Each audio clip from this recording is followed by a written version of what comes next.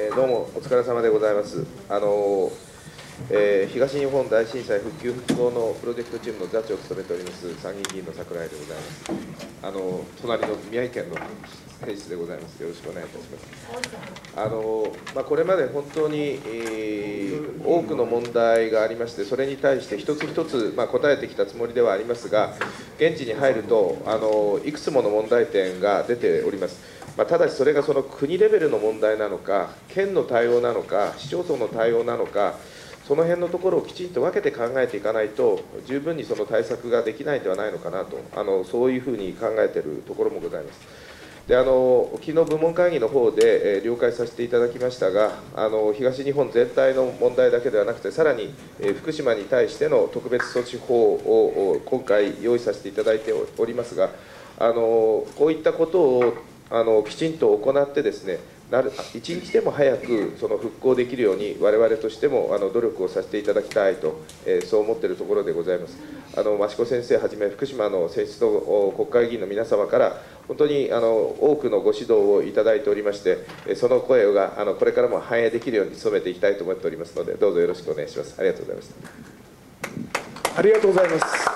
桜井座長の大変福島県のためにお世話になりましてありがとうございます。それでは新井座長ご挨拶お願いします。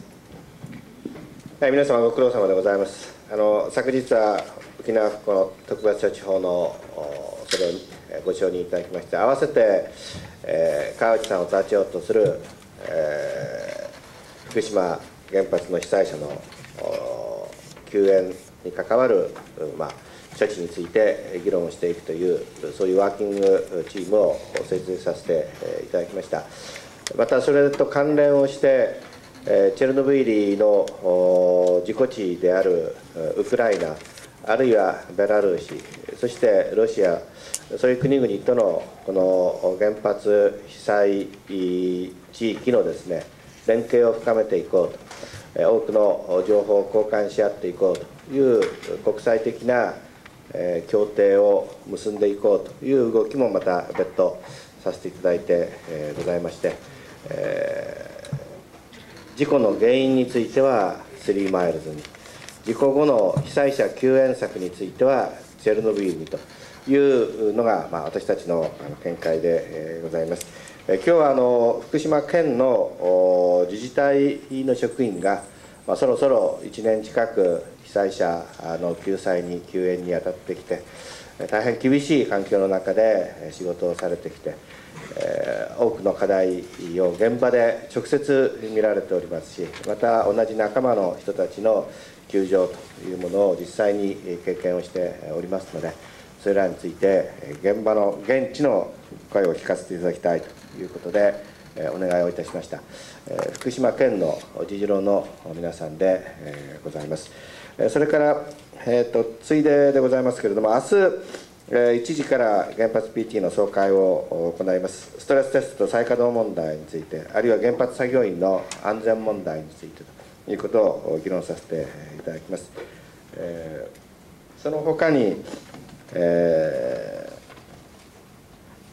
えー谷岡さんがジミー・カーターに、えーお会いいたしましたしそれから馬淵さんがバックエンドの研究をしてございますのでそのあたりの報告もまた原発 PT で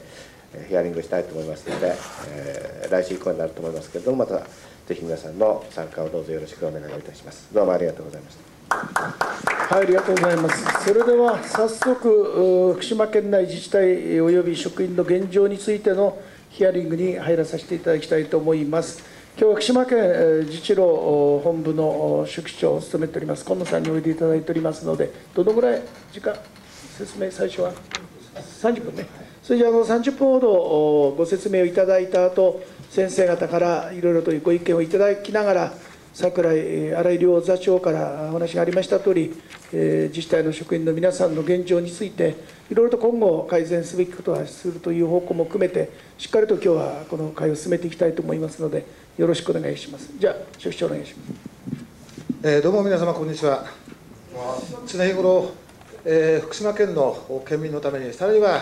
まあ、日本のために、まあ、復興のためにご尽力いただいていることに改めて感謝と御礼を申し上げたいと思いますしまた